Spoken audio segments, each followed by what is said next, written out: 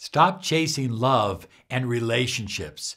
Do this instead and attract that special, specific person into your life easily, effortlessly, with the law of attraction.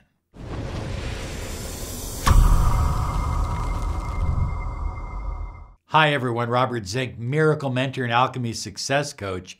And today we are soaring high like a big, beautiful eagle, and we're always flying in the direction of your dreams and goals. Look, at we're here almost every day with a new video, so be sure and subscribe. Click that bell icon so that you're aware of when our new videos are available. High flyers, you can claim your 30 minutes of miracle mentoring and alchemy success coaching absolutely free. Love, relationships, money, health, happiness, prosperity, abundance, whatever it is you desire. Find out what a mentoring program can mean for your life. Visit us at lawofattractionsolutions.com. So, high flyers, have you noticed that the more you chase something, the more you beg and wish for it and cry for it and call for it and text, the further it gets, especially when it comes to relationship. I mean, it also works the same way with money, but especially with relationships. So, most people when they go through a breakup or when they're when they're wanting to take the relationship to the next level, they increase the wanting, they increase the begging, they increase the crying and the needing. And that gets them exactly the opposite of what they desire.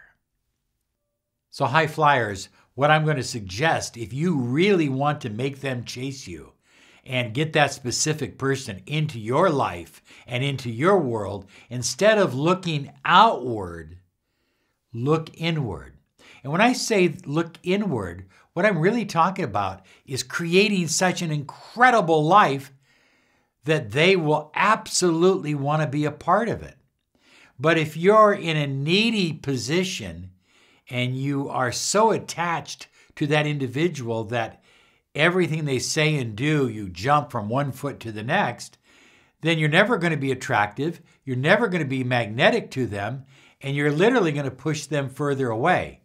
The key is to have them begging, chasing you, wanting to be with you because you have gone inward and created a beautiful lifestyle for yourself, a beautiful life for yourself. You've raised your vibration, and so now you're more magnetic. So, I think I was watching an interview or a podcast many years ago, and Joe Vitale said it best because I've always struggled with how to communicate this. He said, You need to want it and not want it at the same time. You put out the intention and then you allow the universe to make it happen for you. And we're going to share some ideas on how to do that. But first, high flyers. Have you noticed, have you ever had a situation where you went through a breakup and six months goes by, nine months goes by, and pretty soon you start dating someone else and you're just getting into this new person and things are going really well. And all of a sudden, the person from six months ago or nine months ago that broke up with you is calling you again asking you if, well, hey, let's get together for a drink, or how are you doing? What's going on? And here's a reason for that.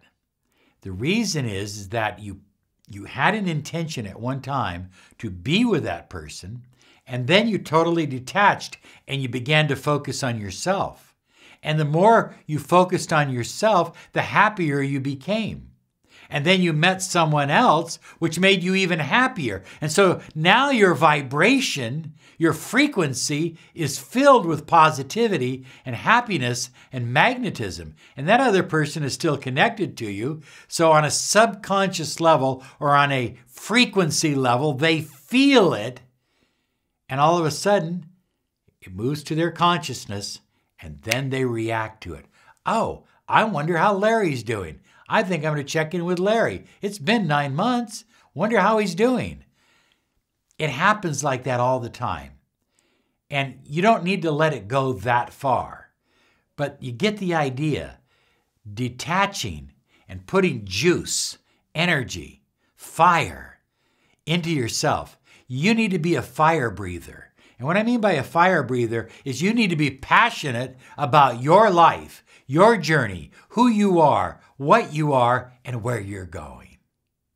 You see, high flyers, because the opposite of wanting, needing, chasing is it's opposed to the law of attraction. The law of attraction says that likes attract likes. So when you're in a higher state of vibration, when you feel good about yourself, you attract people who are also in that higher state of vibration. But when you're wanting, needing, chasing, you're kind of pushing them away. The law of attraction is not about drawing you to that specific person. The law of attraction is about drawing them to you. And that's easy to do once you're in vibrational alignment. They'll unblock you, they'll start calling you, they'll text you, they'll chase you, they'll beg to be with you. But you know, you know what I mean. The secret to magnetically, magnetically attracting is an abundance mindset. This is easy. I am worth it. Versus a scarcity mindset. What if it doesn't work? What if they don't like me? What if they never come back? What if they date somebody else? You know, all of that is a scarcity mindset and will push them away versus an abundance mindset. Scarcity attracts scarcity. Write it down. Scarcity always attracts scarcity. So now, if you really want to kick this up a notch, here's where the law of assumption comes in. The law of assumption says if I become it in my mind, I will live it in my life. You assume that you already have what you desire. And that takes you out of that wanting because you believe on a subconscious level, that your belief is so strong that you're already there, that you're just waiting for the clouds to clear and everything is perfect. You assume that you have that specific person chasing you, wanting you, needing you, going crazy for you. And when you assume it, when you see it, when you feel it in your mind, you will live it in your life. So let me give you a little acronym that you can use for the law of attraction or the law of assumption. L O A, law of assumption. L, letting go. O, opening up. A, attracting what you desire. So you let go. Ah, take that deep breath. I let go. I assume I'm already there. You open up to receiving and you simply attract what you desire. It's easy and it works. So, high flyers, use the law of assumption after setting clear intentions using the law of attraction. Next, I think that if you really want to get them chasing you, you need to fractionate your energy. Just don't make it constant. Don't make it constant. Really turn up the juice with your affirmations, with your gratitude, with your visualization, with your uh, tapping, with whatever exercises you are doing for five days, and then take two days off. And during those two days, just focus on yourself, on feeling good, on going places, traveling, doing, but don't think about manifesting. Just allow the energy to work for you. You have a partner in manifesting your specific person. It's called the universe. But you have to give the universe some space. So hit it hard for five days, take off for about two. Next, and I've mentioned this in several videos, present tense gratitude. It's a game changer. It changes everything when you start writing that you are grateful for that specific special person calling you, chasing you, wanting you, needing you, desiring you. When you when you feel that gratitude for that, then that's what you're sending out to the infinite field of potential, the universe, and that's exactly what you're getting back. Next, have positive expectations. Know exactly that you expect a loving, committed, beautiful, happy relationship. Challenge your negative thoughts. When you have a negative thought, challenge it, write it down and challenge it. And, and then replace it with a positive expectation thought.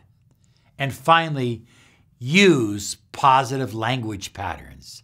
I am, we are. I feel good. I feel incredible. I am absolutely certain. I love that phrase. I am absolutely, that means absolutely certain that the love of my life is already in my life.